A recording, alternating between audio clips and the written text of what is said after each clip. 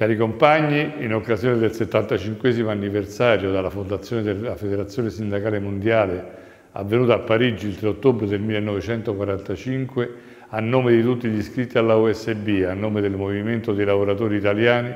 vogliamo riconfermare la nostra totale adesione alla Federazione Sindacale Mondiale, ai suoi principi fondanti stabiliti nei primi congressi mondiali e a cui ha contribuito il leader del movimento operaio italiano Giuseppe Di Vittorio, che è stato presidente del WFTU dal secondo congresso di Milano e fino alla sua morte. Quest'anno non potremo celebrare insieme questo importante avvenimento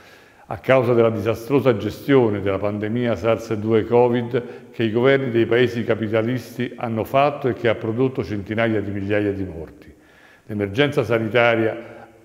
ha prodotto lutti e disastri economici perché il capitale ha scientificamente smantellato e impedito lo sviluppo di un sistema di tutela della salute capace di assicurare all'umanità sicurezza e cure adeguate.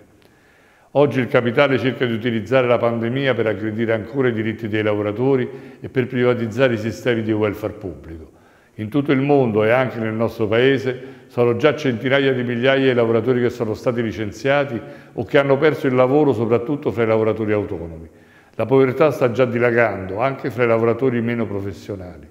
L'Unione Europea sta stringendo il cappio al collo dei popoli attraverso la concessione di prestiti che dovranno essere restituiti a prezzo di grandi sacrifici per le masse popolari e per i lavoratori. Il Movimento Internazionale dei Lavoratori si trova quindi nel suo 75 anniversario